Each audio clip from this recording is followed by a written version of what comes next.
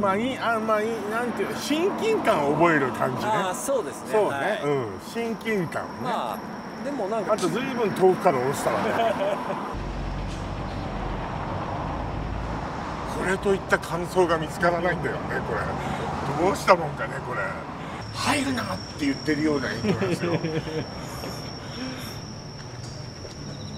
じゃあ5分5分番組8000円で買う。8000円だったら買いたいですよね。じゃあやりましょうか。音楽とかかけちゃう？あなるほど。そうですね。お音があった方がいいですここね。が音源ですね。田無出身の人ってどなたがいるの？歌手の方。最近の子としてはミセスグリーンアップルとか。あはいはいはい。どどれ？赤い公園ですよね。赤い公園。っていうえバンド？両方とも。そうです。おね。ー。ミセスグリーンアップルは2枚ぐらい。これが今もう田無の一押し。なるほど。これ天月ゆりさんっていうのかな？これなんていうんだろう？反応反了っていうごめんね母ちゃんっていう。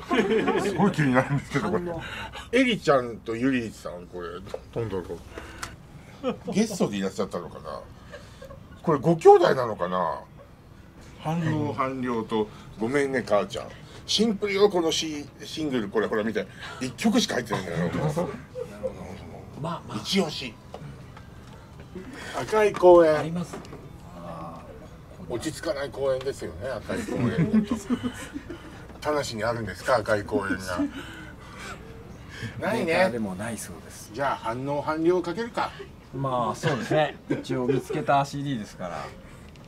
反応反了ってどういうことかしらね。普通ないですよねもう畑の近くの港に住んで朝はの漁業をして昼から農業するってことかしらね。ちょっと聞いてみたくなるわねこれね。ちょっと歌詞は気になりますね。マツコグランプリインターナシ